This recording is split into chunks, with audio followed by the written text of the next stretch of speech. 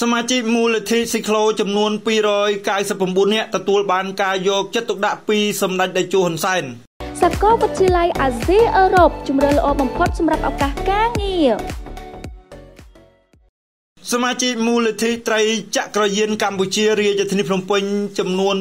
299នាក់ទទួលបានថវិកានិងគ្រឿងឧបភោគបរិភោគរបស់សម្ដេចតេជោហ៊ុនសែនក្នុងឱកាសបុណ្យភ្ជុំបិណ្ឌលោកមេតមាសភក្តីអ្នកនាំពាក្យរដ្ឋបាលរាជធានីភ្នំពេញនិងជាប្រធានលេខាធិការដ្ឋានមូលនិធិត្រីចក្រយានកម្ពុជា មានប្រសាសន៍ថាសម្ដេចអគ្គមហាសេនាបតីតេជោហ៊ុនសែនតែងតែរំលឹកឲ្យឯកឧត្តមខុងស្រេងប្រធានក្រុមប្រឹក្សាភិបាលមូលនិធិត្រីចក្រយានកម្ពុជាកម្ពុជាយកចិត្តទុកដាក់និងមើលថែពីសុខទុក្ខសមាជិកដែលជាអ្នកធាក់ទីក្លូក្នុងរាជធានីភ្នំពេញជានិច្ចជាក់ស្ដែងនៅព្រឹកថ្ងៃទី7ខែតុលាឆ្នាំ2023នេះសមាជិកមូលនិធិស៊ីក្លូចំនួន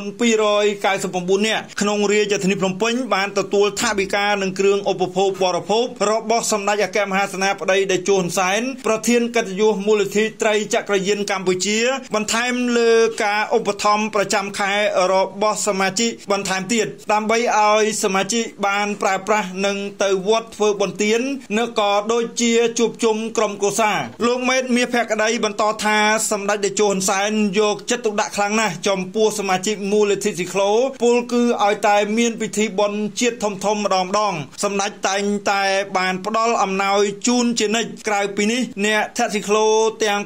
299នាក់ក៏ទទួលបានប្រាក់ខែជារៀងរាល់ខែចំនួន21ម៉ឺនរៀលផងដែរដោយក្នុងមួយខែសមាជិកអាចបើកបាន3ដង ក្នុងមួយដង70000រៀលជាមួយនឹងការផ្ដល់ជូនបានបសសដើម្បីអាចទៅព្យាបាលជំងឺដោយមិនអស់ប្រាក់នៅតាមមន្ទីរពេទ្យរដ្ឋនានាសូមជម្រាបជូនថា